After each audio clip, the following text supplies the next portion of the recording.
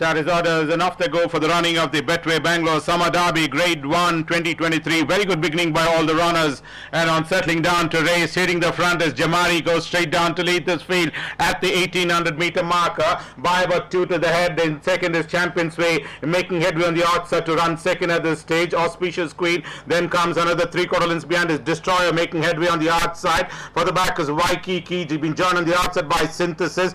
Ruling Dynasty comes the next. Uh, Imperial Gestures another four lengths behind. Three lengths behind is NRI Double Par. Godfather comes next and running last is El Pinar. They go across uh, past the 1400 meter marker through the back stretch as they approach the 1200 meter marker and its Champions Way is now taken out the running in his customary front running role. Freewheeling in front almost about three lengths in front of uh, Jamari running second. Right behind that is Destroyer running third. Ruling Dynasty Synthesis is just ahead of uh, Ruling Dynasty. Auspicious Queen followed by Imperial Gesture. NRI Double Par. The Godfather El Pinar is uh, nicely settled in that last position at the 1000 meter marker as they go past the 900 meters.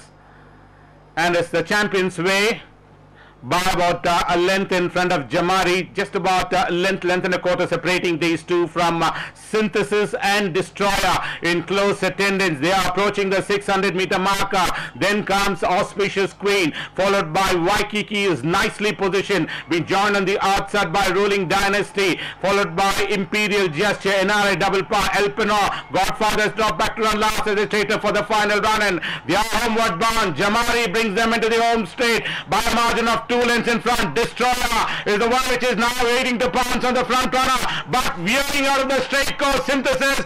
Then comes Auspicious Queen, but Jamari has the upper hand by about two in front. Destroyer and second. Then we have Synthesis trying the widest of four, and Auspicious Queen is also coming up, but Jamari has this race in his pocket. He's going to look the Bangalore Summer Derby Grade 1 from Auspicious Queen finishes on second. Destroyer finishes on third end of Synthesis, followed by Imperial Gesture.